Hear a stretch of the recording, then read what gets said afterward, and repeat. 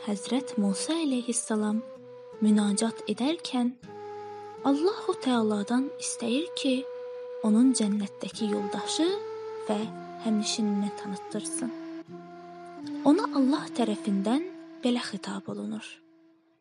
Musa Həmin şəxs filan məntəqədə qəssablıqla məşğuldur. O, gənc bir oğlandır və cənnətdə səninlə həmnişin olacaq. Həzrət Musa əleyhissalam onun sorağına gedir və uzaqdan onun nə işlə məşğul olacağını və hansı layiqli əməllər yerinə yetirəcəyini izləməyə başlayır. Amma onda nəsə qeyri-adilik görmür. Həmin şəxs axşama yaxın işdən çıxdıqda Həzrət Musa əleyhissalam özünü tanıtdırmadan ona yaxınlaşıb xahiş edir ki, onu bir gecə qonaq saxlasın. Həzrət Musa əleyhissalam bu minvalla onu yaxından tanımaq, Allahın peyğəmbəri ilə həmnişinliyinə səbəb hansı işlər və ibadətlərlə məşğul olacağını öyrənmək istəyirdi. Gənc oğlan qəbul edir və evə daxil olub öncə yemək hazırlayır. Sonra əl-ayağı iflic qoca anasının sorağına gedir.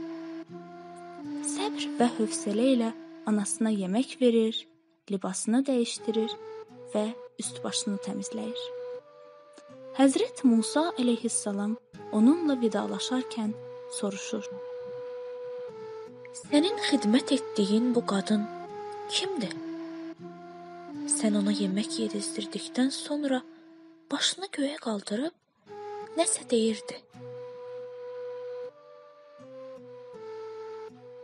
Gənc oğlan deyir: Mənim anamdır.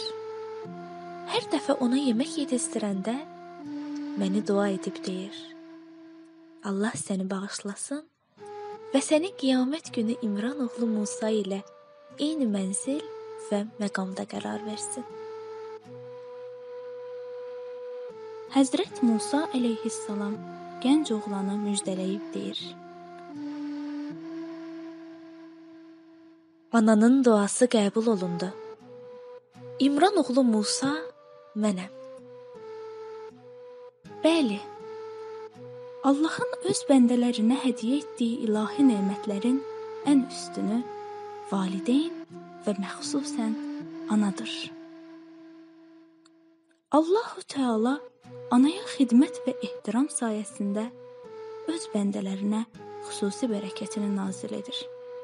Və hətta onları cənnətdə peyğəmbərlərlə həmnişin edir.